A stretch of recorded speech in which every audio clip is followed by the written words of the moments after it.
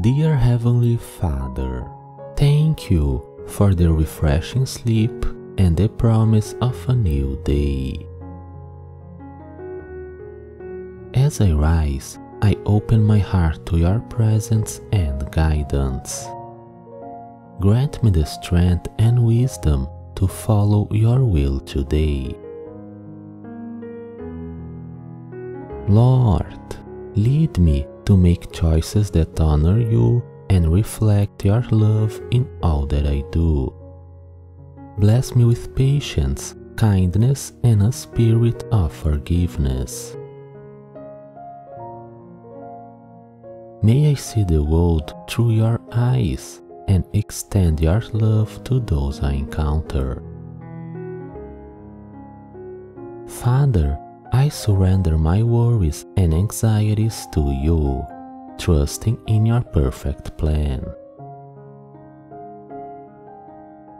Equip me with courage to face challenges and a grateful heart to receive your blessings. Lord, I thank you for all that you have given me and all that you will provide. Thank you for your endless love, care, and protection.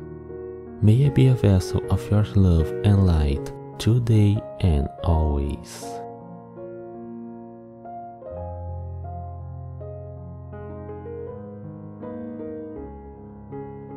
For I know the plans I have for you, declares the Lord.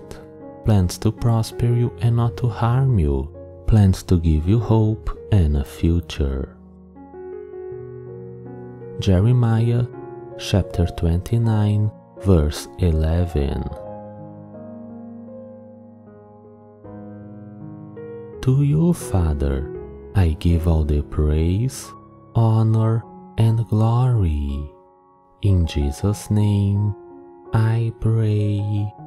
Amen.